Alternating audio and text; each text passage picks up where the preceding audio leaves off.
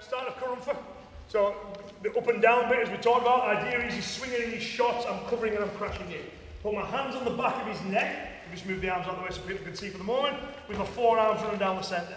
Now on a good day, I'll be able to slide my hands up to here, push down on the head, that cranks his neck and makes him a, uh, bend over. I can use that to facilitate my escape with and I'm gone. But as we talked about, it doesn't always work, so the kata has got a plan B. So I've moved in and he gets a strong grip on me. So as I pull forwards, it's not working. I may uh, make that sliding straight away, but if I can't, I'll start striking so I create a bit of room.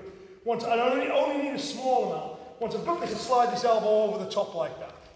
Once I'm there, I now want to move towards his side, so I'm going to slide and move my arm into this position, which would resemble what we see in the kata, right? So I'm here. And I can now see this leg. So what I'm going to do is I'm going to lift the leg up past it and side kick back into it. So I'll do the side. Now on a good day with the following wind, that in itself will make him fall, but if it doesn't, we've got a plan B.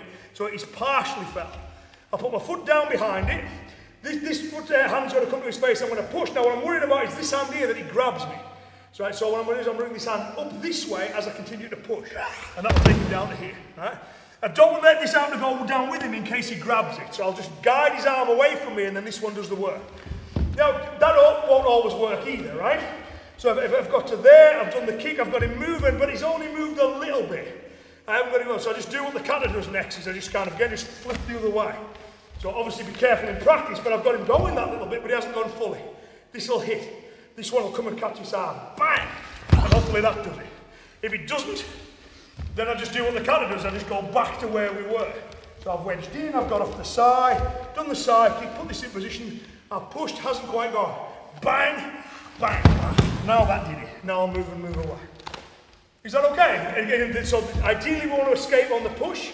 If we can't, that kind of gives us a way to grind out, help to disrupt this posture so we can escape with that second sequence. Is that all